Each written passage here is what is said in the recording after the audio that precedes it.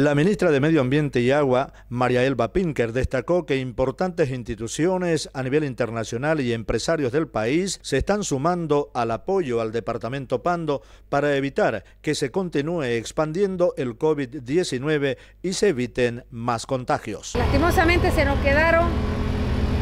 los 2.000 litros de, alcohol y quiero agradecerle al MIDES y al Viceministerio de Defensa y al Ministerio de Defensa que nos han donado 4.5 toneladas de alimentos y un empresario cruceño, el señor Guillermo Roco, nos donó frijol, el cual se está trayendo, también se va a incorporar en las canastas que va a dar el Videsi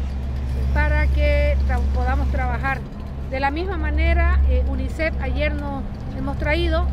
400 sets de limpieza que los vamos también a buscar cómo entregar para los niños Gestión Social que ella nos ha donado los 30 mil barbijos. Casi en ningún departamento se llevado tanta cantidad. Y tenemos batas